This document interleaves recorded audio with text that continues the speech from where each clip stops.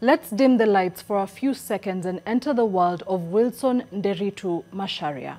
I walked into that bank as a person uh, with dignity, but left the bank without dignity.